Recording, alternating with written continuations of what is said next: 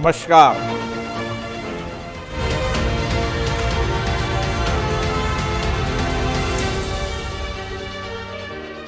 सामाजिक क्षेत्र में, डिजिटल क्षेत्र में, ऑनलाइन सेक्टर के अंदर, हमारे नौजवानों को स्टार्टअप के माध्यम से हम इस आपदा संकट का मुकाबला भी कर सकते हैं और संपूर्ण देश के जनता को एक साथ जोड़ने का काम भी कर करते हैं।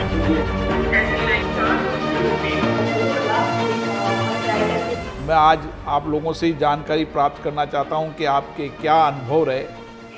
आपको बहुत बड़ा ध्यान इस समय हिंदुस्तान के गाँवों पर देना है।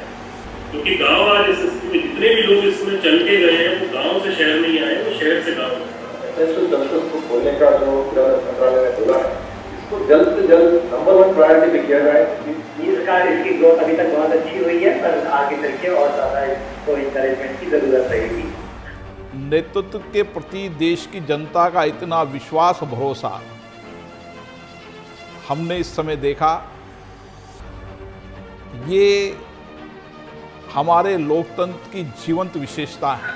एज द यूनाइटेड नेशंस हम जो काम करते हैं in collaboration with the central and state governments के साथ। चार मुद्दों पे हम बहुत ही फोकस ग्रुप में काम कर रहे हैं।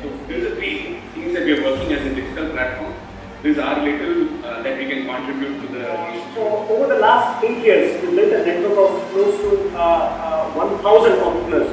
हम ट्राई करते हैं कि हम फंडिंग डेटा टेक्नोलॉजी या इंफॉर्मेशन या कोलैबोरेशन तो कोऑर्डिनेशन में जो हम मदद कर सकते हैं गवर्नमेंट की और मुझे लगता है कि हम इस संकट से बहुत जल्दी उबर जाएँगे इस संकट को हम मुकाबला करके परास्त कर पाएँगे